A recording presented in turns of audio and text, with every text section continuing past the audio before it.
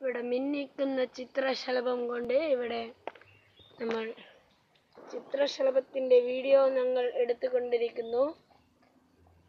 ഇവിടെ അഞ്ച് ചിത്രശലഭമാണ് ഇവിടെ കാണാൻ കഴിയുന്നത്.